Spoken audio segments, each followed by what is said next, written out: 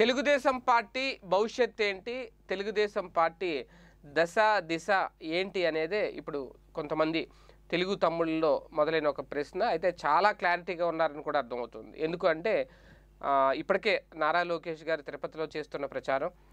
నారా లోకేష్ గారిని ఏదో ఒక రకంగా ఒక నాయకుడిగా ప్రజలకు పరిచయం చేయాలి అనే తాపత్రయం కొద్ది రోజులుగా. గతంలో మన మున్సిపల్ ఎన్నికల్లో కానివ్వండి పంచాయతీ ఎన్నికల్లో కానివ్వండి ఇప్పుడు ఈ జడ్పీటీసీ ఎంపీటీసీ ఎన్నికలు అంటే బాయ్కట్ చేశారు కానీ ఇప్పుడు తిరుపతి ఉప ఎన్నికల్లో కానివ్వండి. ఎక్కడ చూసినా నారా లోకేష్ గారి మార్క్ అయితే కనిపిస్తుంది ఖచ్చితంగా. అంటే నారా లోకేష్ గారిని తరమే మీద తీసుకురాబోతున్నారు రేపు పొద్దున్న రెండు వేల ఇరవై నాలుగులో లేదంటే ముందు వస్తే ముందు ఎన్నికలు ఏదైతే రెండు వేల ఇరవై నాలుగులో జరగబోయే ఎన్నికల్లో ఖచ్చితంగా నారా లోకేష్ గారిని తెలుగుదేశం పార్టీ తరఫున సీఎం అభ్యర్థిగా బరిలోకి దింపబోతున్నారా అనే ఒక డౌట్ అయితే వస్తుంది. కానీ ఇక్కడ నలభై ఏళ్ళ రాజకీయ ఇండస్ట్రీ చంద్రబాబు గారు ఓకే ఆయన వయసు పెద్దదే అయినా ముఖ్యమంత్రిగా పోటీ చేయలేని వయసు అంతా అయిపోలేదు. ఆయన ఇంకా యాక్టివ్గానే ఉన్నారు యంగ్ అండ్ డైనమిక్గానే తిరుగుతూ ఉంటారు. ఆయన మాటల్లో ఆ పంచులు ఆ మాటల్లో ఆ ప్రాసలు అవన్నీ ఇంకా అలాగే ఉన్నాయి.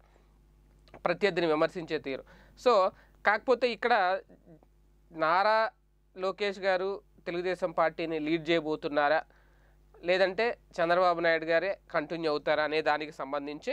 ఎందుకంటే పార్టీకి ఉన్న క్యాడర్ని బలోపేతం చేసి లోకేష్ గారి నాయకత్వంలో పార్టీని నడిపించే ప్రయత్నం అయితే జరుగుతోంది అనేది. కానీ కొంతమంది తెలుగు తమ్ముళ్ళు చాలా క్లియర్గా చెప్తున్నారంట.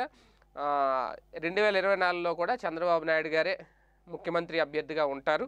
నారా లోకేష్ గారిని అప్పుడే ముఖ్యమంత్రి అభ్యర్థిగా పరిచయం చేయడానికి ఎవరూ సిద్ధంగా లేరు అనేది. ఎందుకంటే వారసుడిగా ఒకవేళ ప్రమోట్ చేయాలని అనుకున్నా అందరూ సహకరించాలి అందరూ చంద్రబాబు గారి నిర్ణయాన్ని శిరసా వహించాలి కానీ ఖచ్చితంగా కొంతమంది సీనియర్లు అయితే వ్యతిరేకించే అవకాశం ఉంటుంది అనేది కూడా. ఎందుకంటే జనాల్లో కూడా లోకేష్ గారికి ఇప్పుడు పెద్దగా మద్ద మద్దతు అనేది అంతగా రావట్లేదు.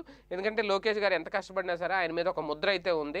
ఆ ముద్ర చెరుపుకోవడానికి చాలా టైం పడుతుంది దానికి చంద్రబాబు గారు కూడా ఒక కారణమనే అంటున్నారు. ఎందుకంటే తండ్రి గారు ఏదో ఫార్టీ ఇయర్స్ హిస్టరీ అని చెప్పడమే తప్ప చాణక్య రాజకీయం నేతగా చాణక్య రాజకీయం చేసే నేతగా కళ్ళ ముందుంటే కనుక ఆయనతో లోకేష్ని పోలుస్తారు. కానీ లోకేష్ కొంచెం తేలిపోతున్నారు కొన్ని కొన్ని విషయాల్లో అనేది. అందుకే ఆయన ఆ ఆ దృష్టితో చూడలేకపోతున్నారు అనేది మొత్తానికి రెండు వేల ఇరవై నాలుగులో పార్టీ వర్గాల నుంచి అందుతున్న సమాచారం ప్రకారం రెండు వేల ఇరవై చంద్రబాబు గారే మళ్ళీ ప్రొజెక్ట్ అవుతారు. ఆయన జనాల్లోకి వస్తారు సీఎం అభ్యర్థిగా. లోకేష్ గారు ఇప్పుడు ఏదో ఎన్నికల ప్రచారానికి ఇది ఒక ట్రయల్ వెర్షనే తప్ప ఇది డైరెక్ట్గా రేపు ఎన్నికల బరిలోకి దిగడానికి అయితే కాదు అనేది. మరి చూద్దాం ఏం జరుగుతుందో.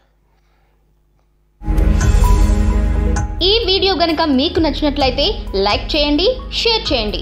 మరిన్ని వీడియోస్ కోసం మా ఛానల్ను సబ్స్క్రైబ్ చేయండి.